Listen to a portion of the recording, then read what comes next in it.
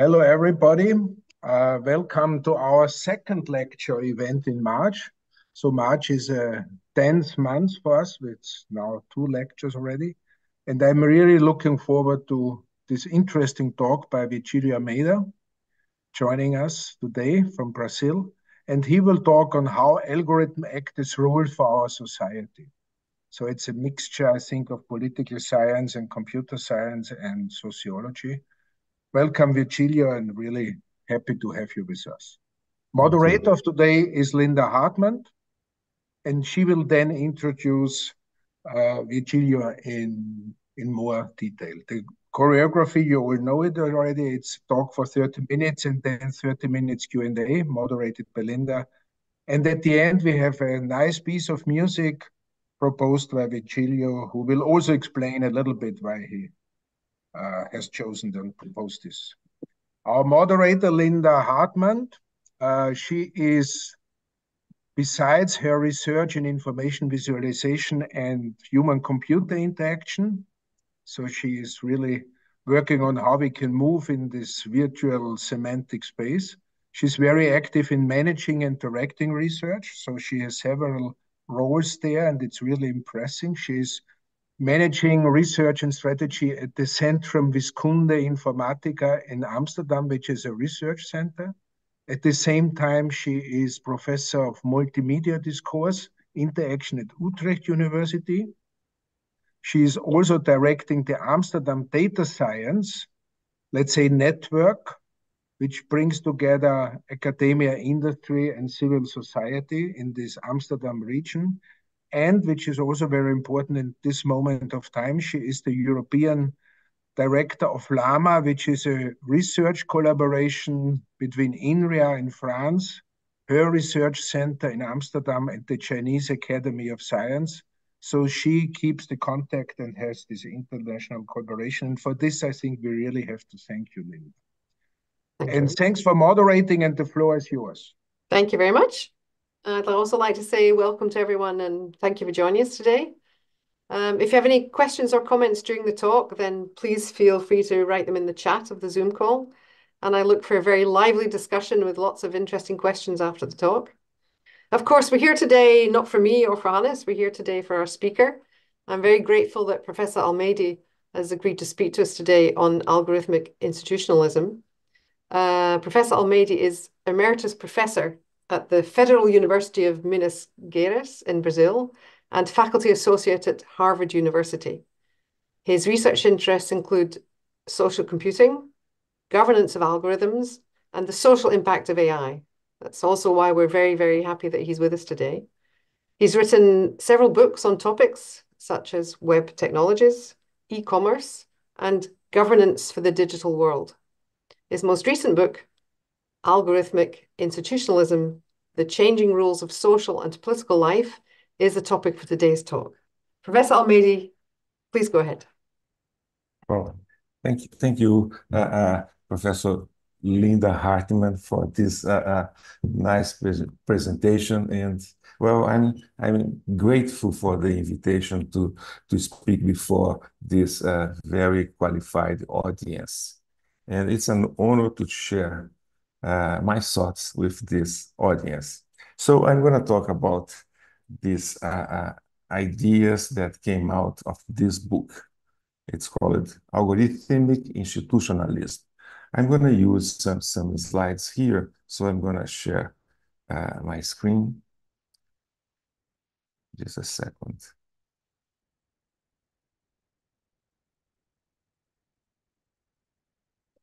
Do you see the screens? Okay, great. Well, let me tell a little bit a story about this book.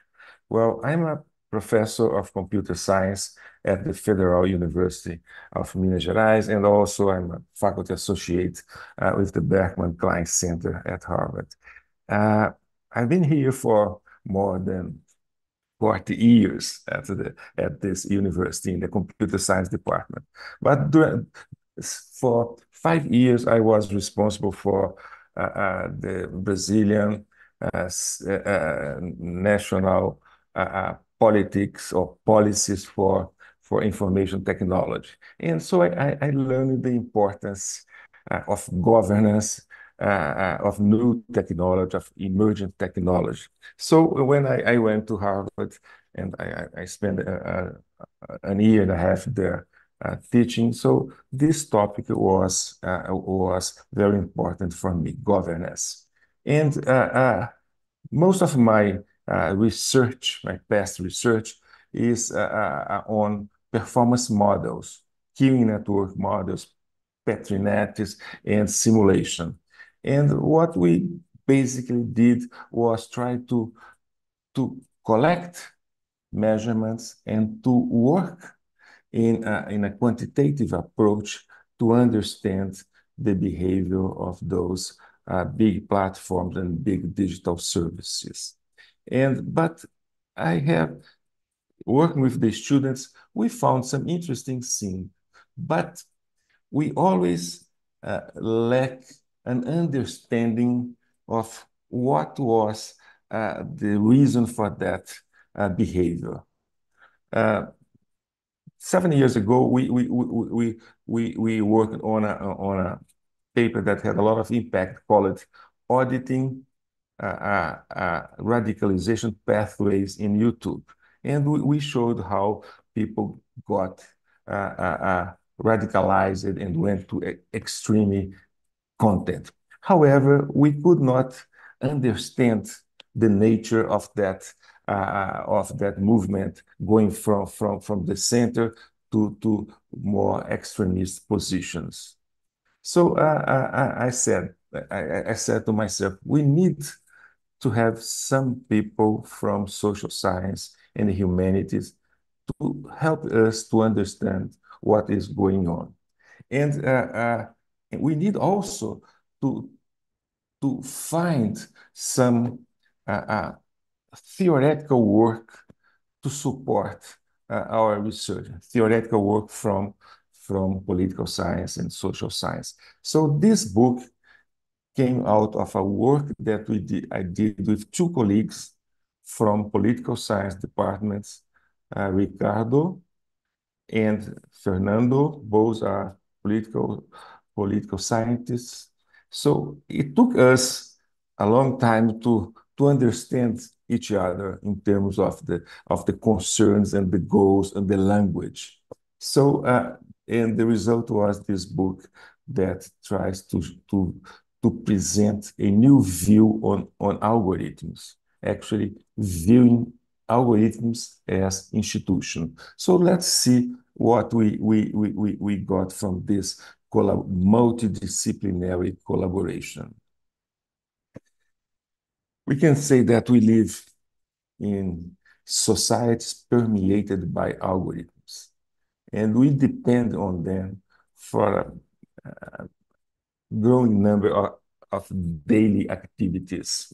And this is this happens all over the world, not only in Europe or on the in in the north, but but also in the in global south countries. So urban mobility, such as Waze and, and, and Google Maps, relationships such as dating algorithms, uh, uh, uh, algorithms to define uh, work shifts and schedules for uh, employees, access to welfare, uh, policy that was really important during the pandemics. People needed this so social support from government, medical decisions, police and criminal dosimetry. So these are a few examples of the role of algorithm in our daily life.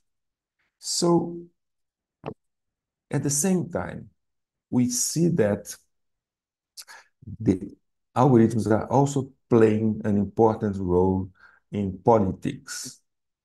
And, and that has got the attention of scientists from humanities and political science, especially in the context of social media. So some of the of the consequences of this uh, uh, uh of the of the role played by algorithms in the in, in social media platforms that we see a fragmentation of the public sphere, a strong polarization, disinformation and denialism, censorship, and bots. All those uh, uh, uh, characteristics are not only consequences from algorithms, but algorithms play an important part in these characteristics.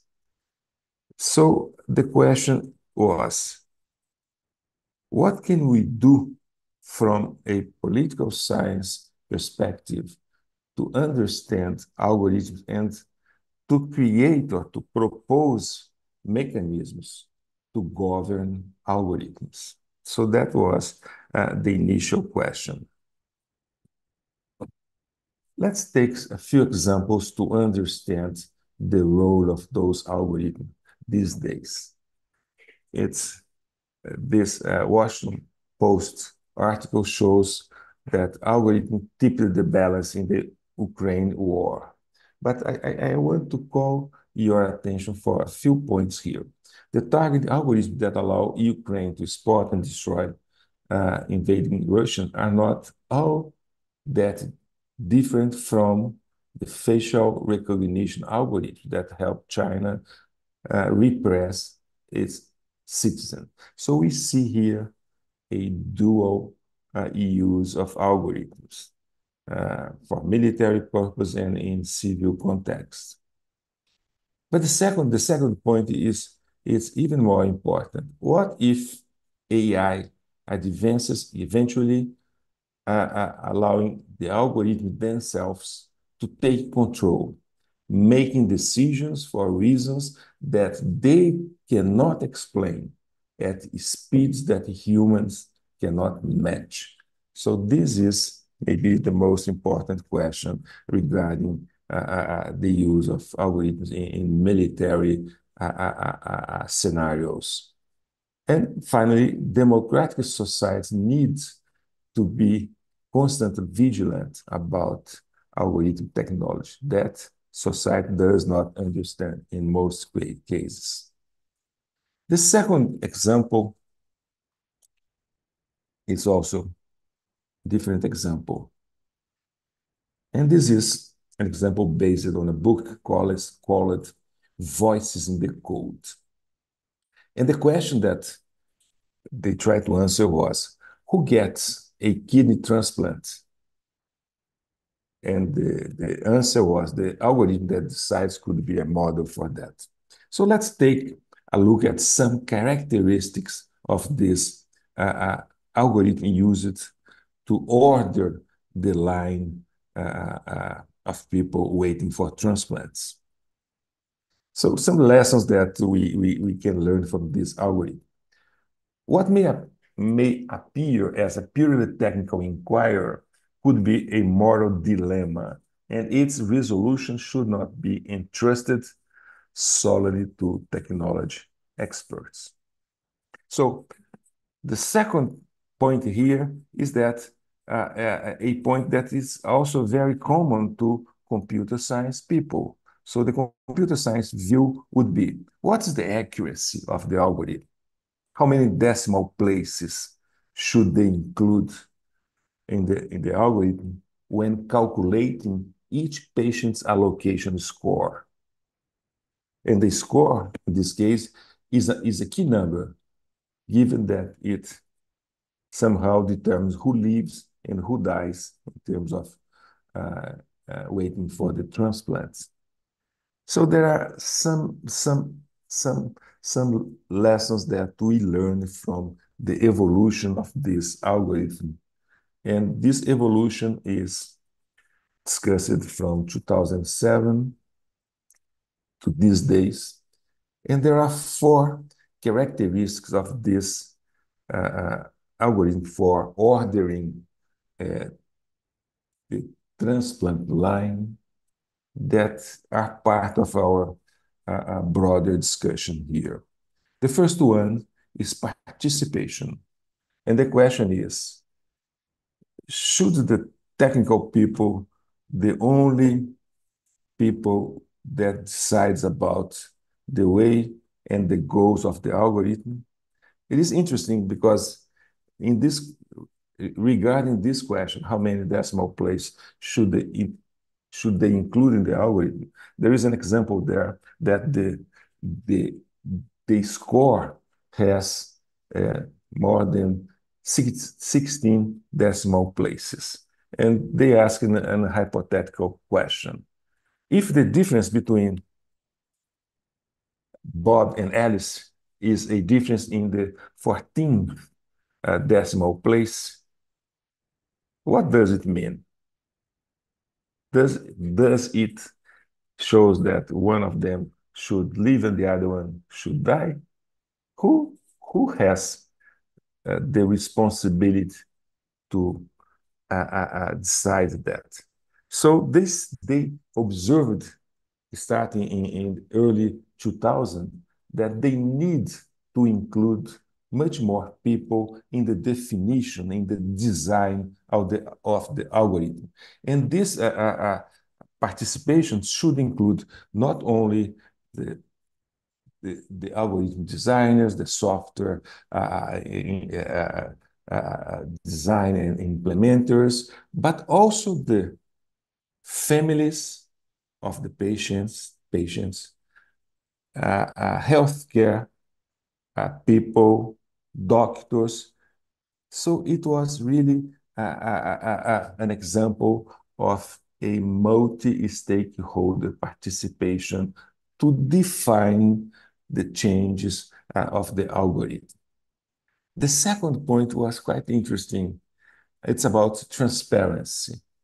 And they try to show uh, uh, how the algorithm worked and to make people comfortable with understanding the, the way the algorithm worked. In this case, uh, there was a, an interesting question that we can ask now. It was a traditional algorithm that people understood how it worked. But let's move to these days. If that algorithm was a machine learning algorithm, could people understand in the same way uh, the the way that they always worked?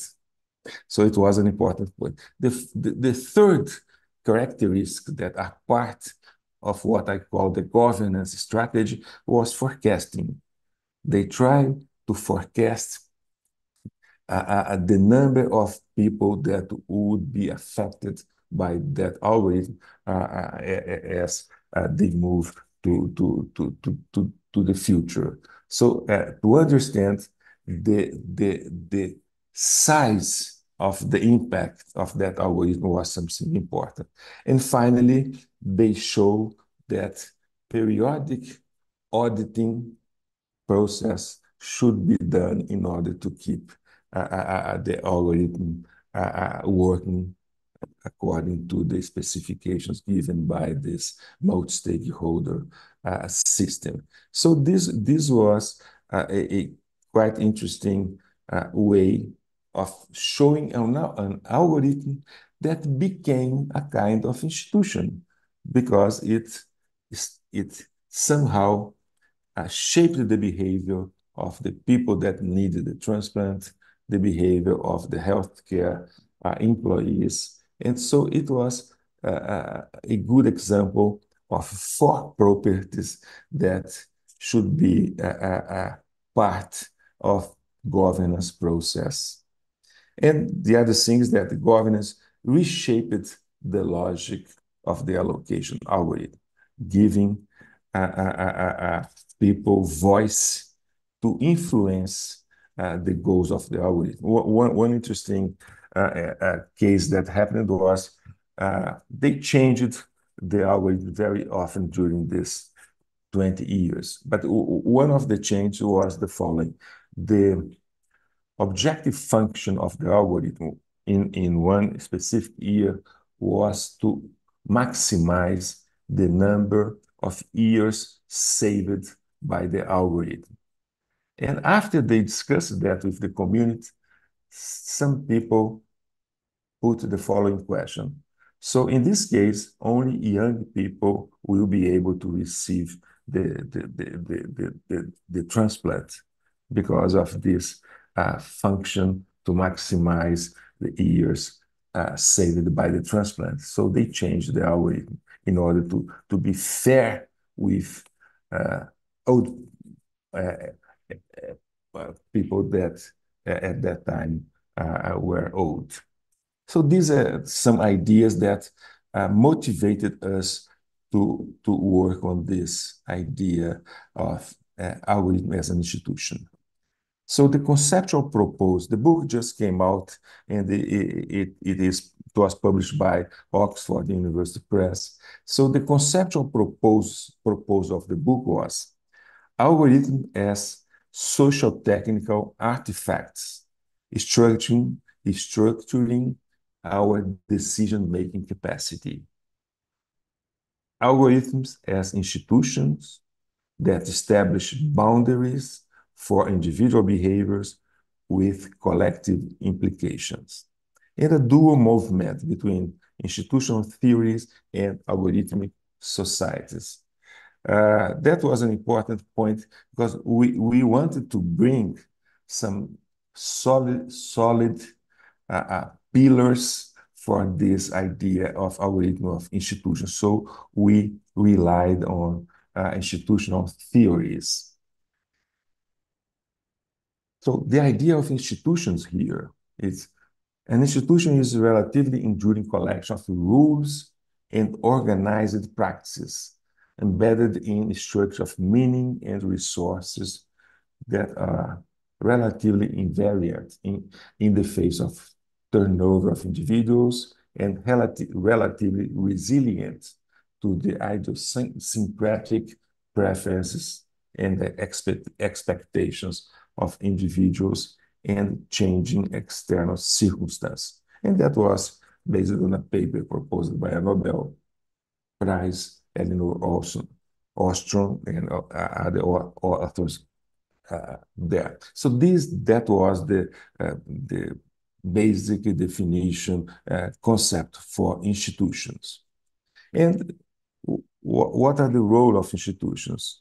Um, they empower and constrain. We can have formal, uh, we can have institutions with formal rules, such as laws, or can also have some norms, and we can have some informal uh, institutions, such as the concept of family is an institution that has uh, a kind of uh, uh, uh, a set of informal rules depending on, on the culture and on, on the region of the world.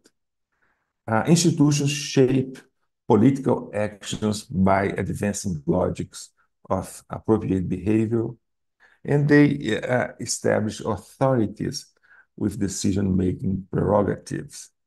So we can ask now, what's the difference between institutions and the, the role played by algorithms? So this idea of algorithmic institutionalism allowed us to, to navigate between these dichotomies, algorithm as, uh, uh, as characterized by animism, or algorithms that are purely uh, uh, instruments to implement some organization. We also the two poles of this dichotomy is structure algorithm as part of, of infrastructures or algorithms, uh, the agency of algorithms uh, uh, relative to the, to the agency of humans. And also determinism versus openness, openness, eh, because sometimes the, the outcomes uh, of the algorithms influence people in, no, in, in in an unintended consequence. We're going to see some examples of these uh, points in the next slides. So in order to analyze algorithms as institutions, we proposed a framework that was derived from the different uh, uh, institutional theories proposed by my friend, my uh, uh, uh colleagues, my co-authors that work with those theories. So the idea that in order to do this analysis, we need to understand uh, uh, the institutional construction and design associated with these algorithms. An important point is the evolution of the algorithm, as in the example of the transplants. Uh, past dependency was something very was key in this in the development, and also when they identified bias against some some racial bias and some social bias in the in, in the process of selecting the people to to receive the transplant. Rules and norms. What are rules and norms associated to the algorithms? And what are the consequences of those rules and norms on individual behavior and on collective consequence? And it's important to make the difference. Collective consequences are not the aggregation of the of the individual behaviors, as I will show in examples.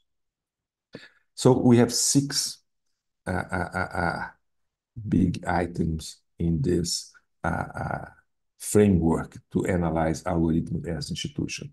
Power implication of algorithmic systems. It's easy to see that in this. in the case of Uber, for instance. The Uber algorithms have a tremendous power over the behavior of drivers and even the behavior of customers.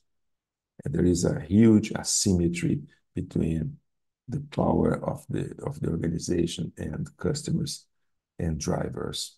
Gaming. How individuals play with algorithms, try to avoid rules. And finally, discursive dimensions of an algorithm. So let's see an example of this case.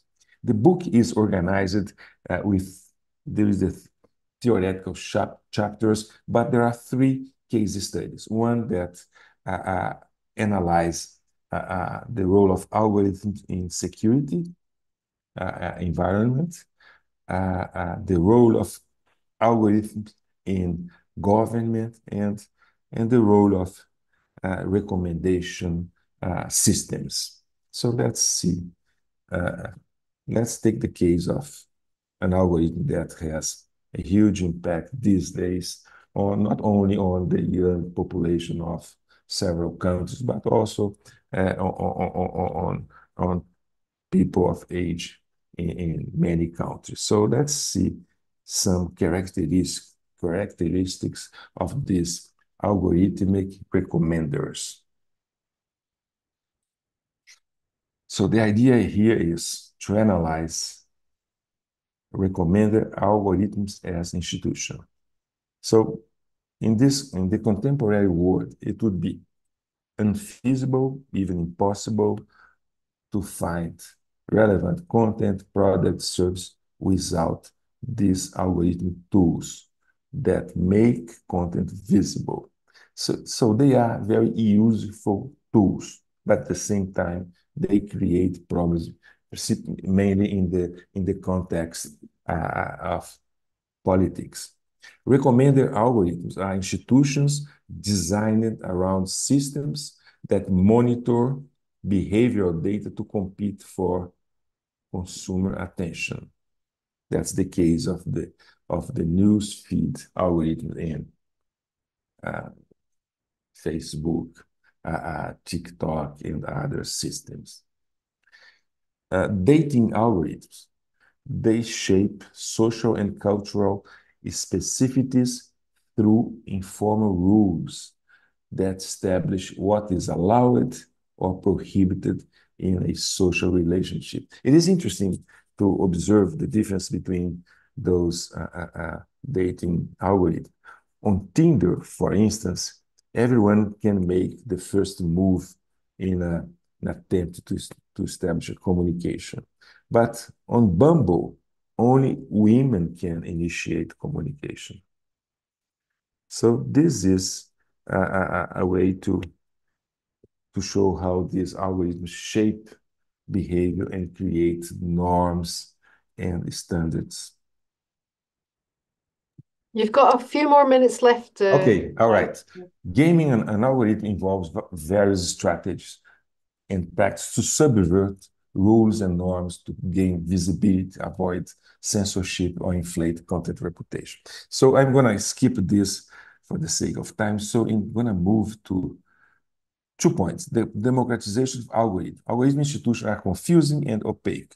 But they have ambivalent consequences. They are useful, but at the same time, they have consequences.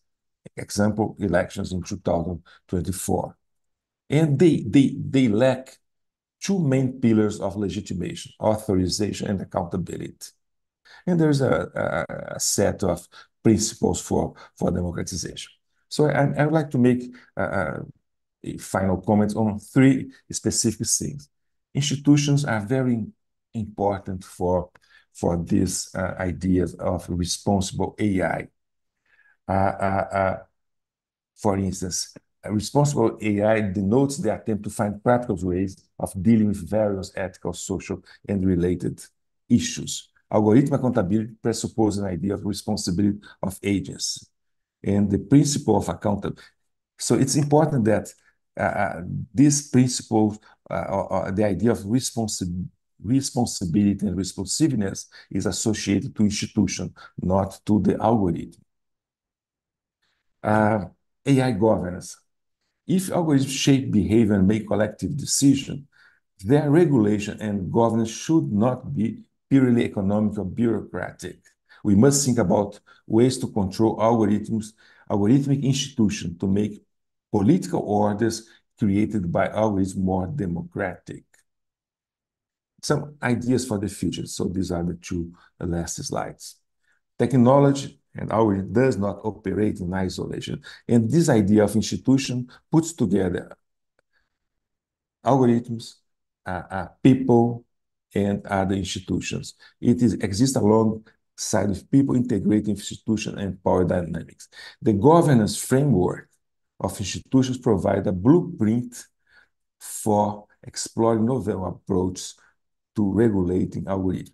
When I say the governance framework for institutions in other policy domains, such as environment, ensuring effective AI governance entails holding accountable those who develop and implement technology for its impact on society. An idea is, for instance, an example, to explore the, the use of institutions in other policy domains, such as uh, uh, uh, environment. We can have, in this case, algorithm institutions related to, to, to specific algorithms, private or public. We can have national, these institutions interact with national institutions that interact with global institutions. So we have to discuss here functional and structural tiers, governance functions, and formulation of. And this is finally the, the last slide. So the book outlines a conceptual proposal need to extend new institutional approach developed from other policy domain, environmental governance to algorithm and AI governance. The idea of algorithm as institution accommodates and deal with institutional diversity as part of the solution for adaptive governance. Again, this was explored in, in the context of uh, uh, environmental governance. And, and finally, defining governance institutions goes beyond assessing bureaucratic and economic winners and losers. Democratization and social justice must be integral components of the governance mechanisms. Sorry for, for going uh, more, more of my time. No, no, you were perfectly on time. Thank you very much indeed. Um, so, ah, I was going to say now we have time for questions. Um, and we already have a question from Paloma Crode. Are you able to speak to us, Paloma, um, to ask your question? That'd be nice. And otherwise, I would read it out. Okay, I shall read out Paloma's question. Um, thank you very much for your presentation, Virgilio. Do you, oops, this is moving. Uh, do you see their ideas are, at least to some extent, reflected in the EU AI Act? Um, kind regards from Estonia. there you are. So I, I don't know how familiar you are with the European AI Act, but it would be certainly for us based in Europe, be very nice to have your reflections on this. I think that uh, some of the idea of risks that are part of the AI European AI Act, uh, it's related to what we, are seeing here in terms of uh uh, uh, uh, impact and the need for institutions to to control and to establish some sort of uh, of supervision on, those systems. I think that the the idea that we are proposing here of algorithmic institutions, they fit, they will be able to, to fit in the, in the big scenario of the AI Act. But uh, maybe I need to, to learn more about the AI Act in order to, to give precise answers. No, that's fine. That's fine. I believe George was the next person who raised their hand. Oh, the first person to raise their hand. Is that correct, George? Or was it Paul? was it Paul then? It was Paul. It was Paul. Lynda. Right. Then then we'll do Paul. Thank you very much. and oh, then... Okay. I don't I don't mind. That's very polite. Virgilio, uh, great to to to hear of your reflections, and I'm really intrigued. Do you hear me? Yes. yes, Sure. Um, good. Um, if I understand it well, you are also arguing that uh, institutions as we have them uh, may also have to change. So there's the governance and the institutional Uh, approach to AI itself, but there's also the institutions as we have them. And I was wondering whether you can say a bit more about that. And I'm thinking of two examples, uh, law and democracy. Uh, so if we look at law, uh, there are instances where we have to use AI. Think of the defense of cyber security defense of critical infrastructures. That goes very fast, and where actually law as we know it is not simply not suitable.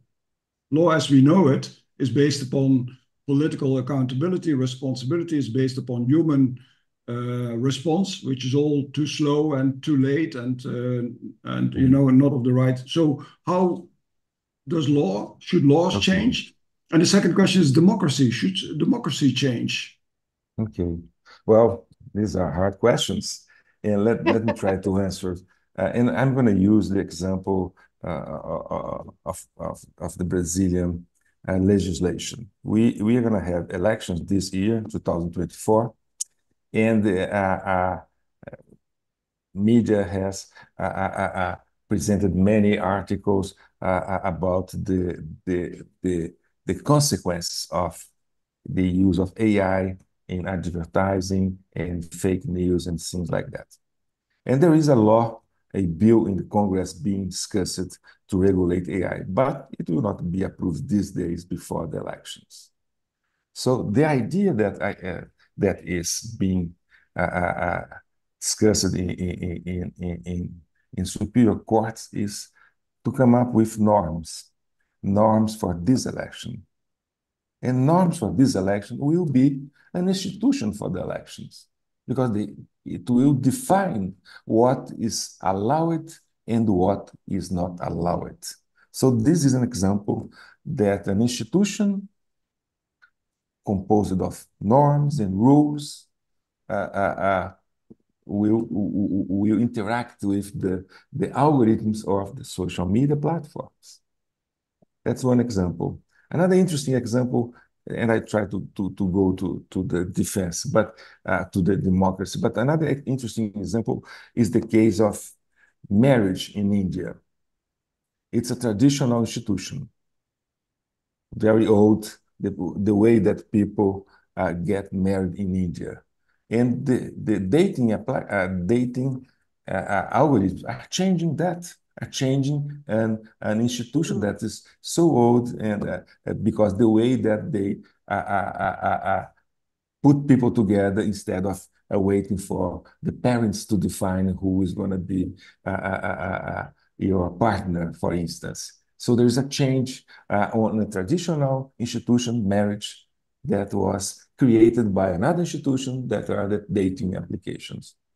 And finally, democracy. I think that this is maybe the most uh, uh, uh important case to to create some rules for for for for for the uh, to protect democracy. And and as you all know the the algorithms used to uh, uh, to control media in the in the digital platforms they are very opaque.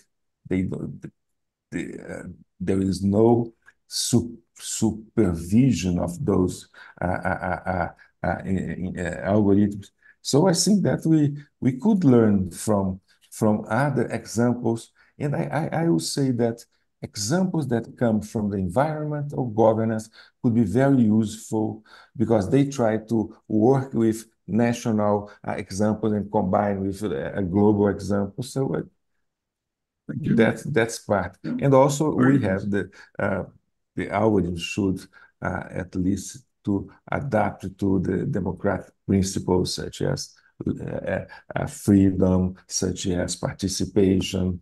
So that's part of the. Okay, of thank you very much indeed. I have some other question askers lined up. Uh, George, I think you're now next. Thank you, Lynda, and thank you, Professor Almeida, for uh, your talk and for writing this book, which I, I, I had the pleasure to read. And uh, since the issue of the AI Act came up uh, by, by, Lynda, uh, on, on page nine of your book, you say uh, our primary emphasis is on high risk algorithms that may have significant public or impactful consequences on people's lives and fundamental rights. And then it goes on to name these categories education, vocational training, employment, management, workers, law enforcement, and so on, which is very much in line with the categorization by risk of the AI Act. So in that sense, uh, uh, it, it, it is very much in line. Uh, my question is that I got a bit confused reading your book about the various layers of institutionalism. Let me let me just put this as naively as uh, as as um, I can. Um, you, you mentioned the, the allocation for, for transplants algorithm, and uh, and then its governance. So you have you have algorithms that evolve, as you correctly pointed out. Uh, they, they evolve with time, and and and you establish a governance to make sure that they evolve in the right direction. And in the definition of uh, an institution that you gave, uh, that definition called for relatively invariant and resilient. Huh? Institutions are supposed to be invariant and resilient. So, to, to, to a simple mind, it, it, it, seems that the institution is the governance huh? and not, not, not the algorithm. Uh, it's uh, and, and, the democratization is a democratization of the governance of of of the algorithms.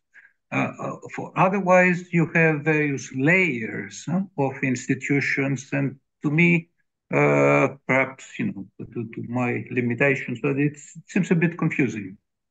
Well, thank you. I think that's important to have your points that are it's important feedback for us.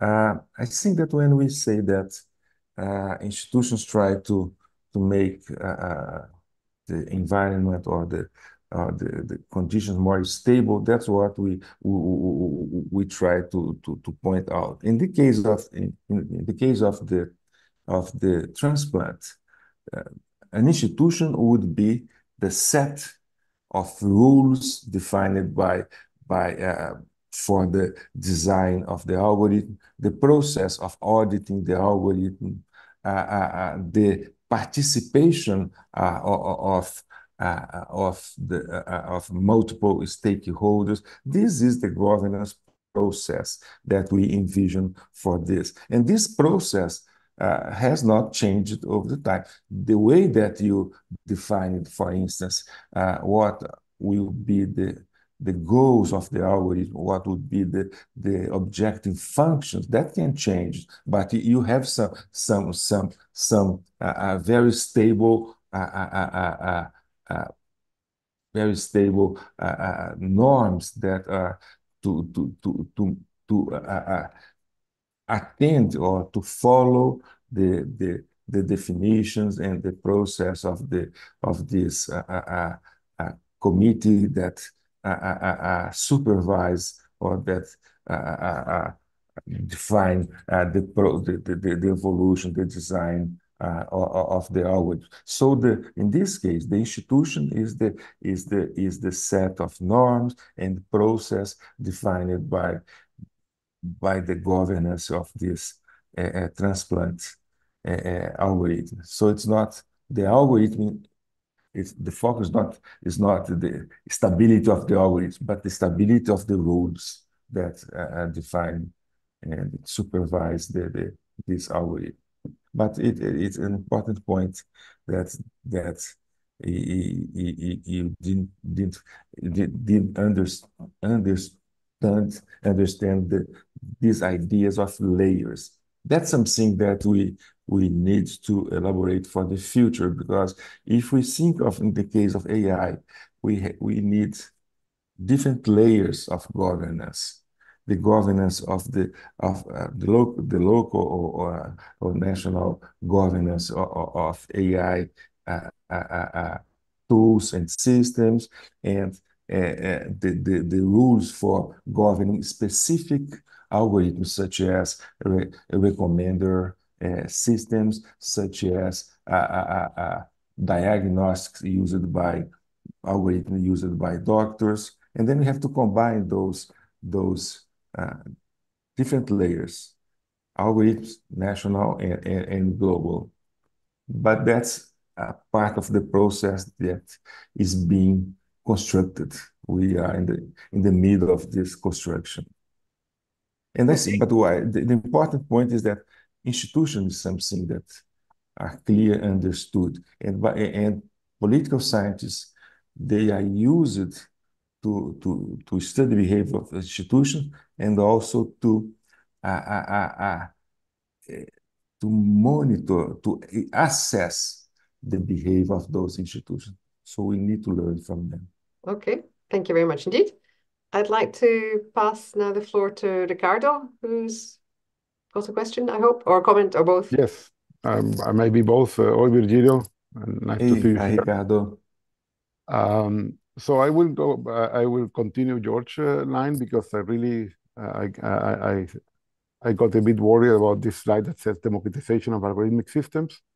And yes, we can we can think that the institutions now are algorithmic systems, but when many people will read this sentence, they will imagine something different. So I, I agree with your answer, but but many people will have a different perception. So because I think um, Wittgenstein will, I think uh, someone said, some, sometimes said in the past that how important the semantic of the words. And in AI, we're seeing so many problems with semantics, starting with AI itself.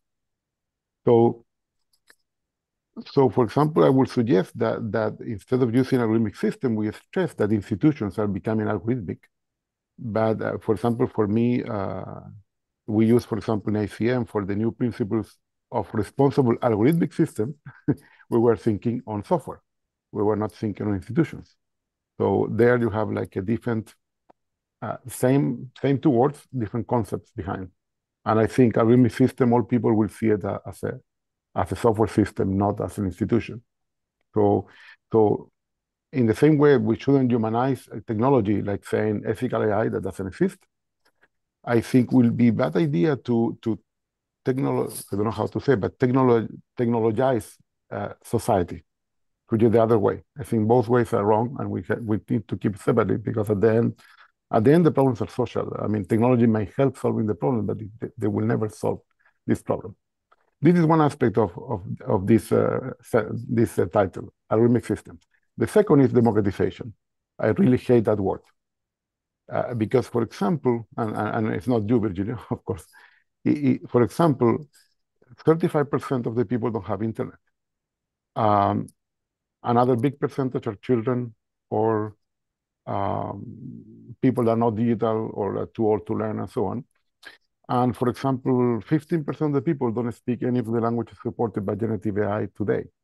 So democratization is, is like a it's like a nice idea, but it's, it's a fallacy because maybe today, in the best case, we can reach half of the population of Earth. So we're not democratizing anything. What we are doing is we're increasing the digital divide in an amazing way because we are doing it much faster and we're leaving a lot of people behind. Well, that people have uh, some advantages. For example, there, there are still a lot of people that have privacy. We don't have one, that. So there are pros and cons of this. But uh, my question will be, uh, you really think we're democratizing this? Well, uh, thank, thank, you very much, Ricardo. I would just like to say to Virgilio that we do have one more question. So while this answer could take the rest of the day, if, if okay. Virgilio can keep it relatively short, sorry. Uh, it's a really I'm, interesting I'm sorry, question. Lynda. I'm sorry, Lynda. oh, thank you, Ricardo, for, for, for the points you raised. Uh, a motivation for, for, for, for this uh, work uh, was the following question. How can we govern algorithms? And uh, we we we we uh, discussing with these colleagues from political science. They political science is used to to create mechanisms to govern institutions. And that's the case of agencies and commit, committees, commissions, and, and, they have studied that and they came up with some some some methods and and, and knowledge for that. So I think can we can we uh, benefit from their knowledge to to to to to uh, govern algorithms? So that's the idea of viewing algorithms. We're not saying that algorithms are, are, are institutions. We we view them as institutions and try to use the knowledge from uh, uh, uh assessing and constructing institutions to to to to make them useful for for governance of algorithms. Uh, regarding your question, uh, that democracy is is is a it, it, it's a concept that does not uh, is not important for many parts of the population. I, I have an example that that could show the importance of trying to have some democratic way of governing the, the algorithms. During the pandemics, the Brazilian go governance uh, implemented a, a, a, an, a, an app to provide uh, social support for most of the people that could not work. But that, that app was uh, constructed on, on, some specific algorithms. It, it, uh, it worked for, for some people, but for illiterate people was very difficult, not only because, the, because of the algorithm, but also because of the interface, the interface they could not use. But there was no way to to to to to, to go to govern that specific application in order to bring the, the, the, characteristics of these people to that application. I think that the idea uh, uh, uh, of democratizing the algorithm is to involve participation. So that's one, one of the points that maybe uh, was part of our, our, our, of our message in the book. Thank you very much indeed. Uh, then I give the honor of the very last question to Luis, and uh, after that we'll move back to Hannes. After Virgilio's given the answer. Okay. well, thank you very much for, for your interesting talk. My question has to do with the ability of contesting the, an algorithm's decision, that is, even argumenting, introducing argumentation like in judicial institutions, you know, you can can contest the, the, the what the judge ruled, and you can even, you know, uh, uh, go up a layer and and question uh, at a higher level the the the uh, the the the contest the the righteousness of the of the judge um, not not only that, you you um, so, so this um, this transparency seems not enough. You would have to introduce some kind of contestability and, and argumentation. Now, it seems to me that in many cases, these algorithms will have ethical assumptions. So one would also be able to contest the ethical assumptions that support the algorithm and the algorithms and algorithms decision. And that would surely uh, necessitate moving up to, to the level that established that what the ethics used in the, in the algorithm are what what's uh, appropriate. And in in in that vein, uh, one could also um, require the alg an algorithm to be proven correct with respect to an ethics. Nowadays, we can prove algorithms correct with respect to you know how many things uh, Accuracy. and, and just uh, that could be that could occur. You know, false cases not accounted for, uh, and so in the in the same way, computer science languages uh, could be made to allow us to write constraint ethical constraints in an algorithm, and then develop proofs that the ethical constraints are satisfied by the algorithm, that it can never produce some solution not compatible with the ethical constraints. Okay, thank you very much. I'd like to hear your opinion. Thank you. Well, thank you. I think that you touched on a very important point that is the uh, to, to how people react to uh, uh, decision-making algorithms. And I think that what we are saying in the book is that uh, we should have, uh, uh in this idea of institutions, we should create uh, uh, a structure that accept those those contestations, those arguments, and to decide on that. I think that we, we, we it would be useful in this case to to look at uh, the, the, the judicial system to see how uh, they, they uh, take the, the, the, questions from persons or, or, groups affected by, by the, the, their decisions. So I think that to, to, to take advantage of other institutional mechanisms and bring them to the to the discussion of transparency, uh, uh, explainability, the, some of the properties that, that are needed in order to, to understand uh, the decision and to, and to contest the decision. So uh, the point is that uh, institutions in other, in other domains have uh, solved this question. So can we use them in the, in the context of digital uh, in the digital services, digital uh, societies. So that's thank you, thank Luis, you. for for your, for your, Thank you very much indeed. I think this is exactly the perfect note to finish on. That uh, we can't solve this as computer sciences on our own. This is why we need the collaborations amongst the different disciplines. So thank you so very much for your talk and your answers. Hannes, back to you. Oh, thanks to both of you. I think uh, the last answer, but also your presentation shows that digital humanism is a valid approach, and you are, in some sense, I see you as a digital humanist following your. Uh, Thank you. Following your talk. Um, Virgilio has chosen a piece of music, and you want to say some words about your your choice, or should we just yeah. play it?